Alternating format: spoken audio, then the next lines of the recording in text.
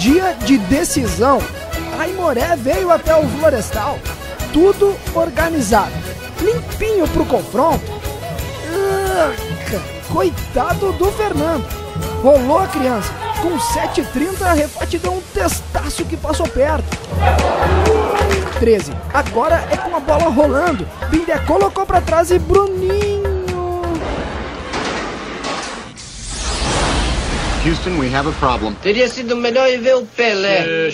Oh, mas que bicho. Estou quieto. mas com 20, tabela entre Binder e o William. E o William pro fundo da rede. O William, 1 a 0 pro Lajadense. A resposta veio com a cabeçada de Ale Menezes que passou longe do gol do Fernando. 33. A bola vai pra cozinha do Aimoré, mas a defesa consegue afastar de lá. 3 depois. Boa jogada de Henrique pela direita. Ele viu bem o Bindé que sentou a criança dali. Cruzamento do Tiaguinho. Lembra do Tiaguinho, né? Do jogo de São Leopoldo. Tiaguinho. Direito a tapinha na cabeça e tudo. Tiaguinho, protagonista da saga. Teria sido melhor ir ver o Pelé. Oh, coisa, bicho. Enfim, ele meteu pra área e. Coco com coco.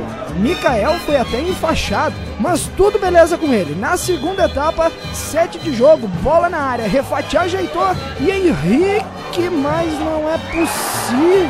Robert entrou no jogo e de arrancada tentou de longe. O experiente Ale Menezes, com toda a categoria, ajeitou, dominou e mandou. Mas Bruninho, 33 para se redimir do chute errado, meu querido, vai lá e. Houston, we have a problem. Teria sido melhor ir ver o Pelé.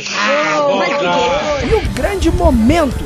Que bola do Bindé, vai Robert, vai Robert, vai Robert. 49, um pra acabar, escanteio. Tensão no Florestal. E acabou o tempo.